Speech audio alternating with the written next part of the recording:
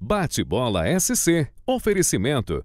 Coelho Esportes. Seu time é nossa inspiração.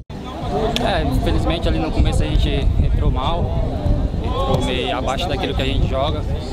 Depois tomamos o gol ali, se fecharam um pouquinho, mas a gente teve paciência, trabalhando bem a bola, fizemos o primeiro. Graças a Deus ali com a jogada, com o nosso pivô ali, ele pode ajeitar para mim, eu pude fazer o gol e saímos com esses três pontos aí, que era o mais importante para a equipe.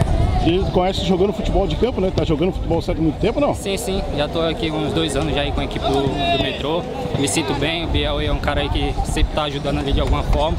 E estou feliz aí de estar jogando esse futsal também. E como é que foi a temporada no futebol de campo? Sim, foi muito boa. Tava lá no estado do Amapá, fui vice-campeão lá. Conseguimos uma vaga na Copa do Brasil para 2024. E que ano que vem a gente pode dar segmento aí na carreira. Sucesso falando. Valeu, obrigado.